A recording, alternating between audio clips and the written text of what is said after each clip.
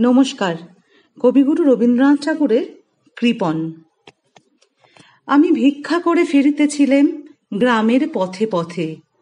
তুমি তখন চলেছিলে তোমার স্বর্ণ রথে অপূর্ব এক স্বপ্ন সম লাগতেছিল চক্ষে মম। কি বিচিত্র শোভা তোমার, কি বিচিত্র সাজ।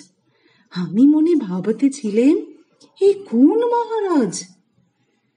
আমি আজি শুভক্ষণে রাত পোহালো। ভেবেছিলেমে তবে, আজ আমারে দাঁড়ে দাঁড়ে ফিরতে নাহি হবে। বাহির হতে নাহি হতে, কাহার দেখা পেলেম পথে। চলিতে রথ ধন ধান্য ছড়াবে দুই ধারে। মুঠা মুঠা কুড়িয়ে নেব নেব ভারে ভারে।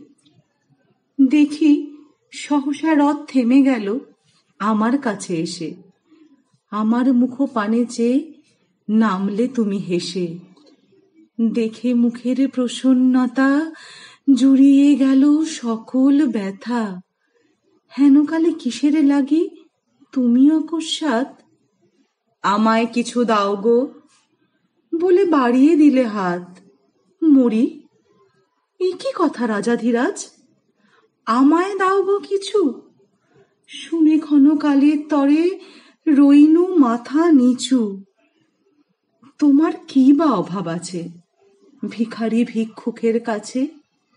ই কেবল কৌতুকের বসে আমায় প্রবঞ্চনা। ঝুলি হতে দিলেমে তুলে একটি ছোট কণা।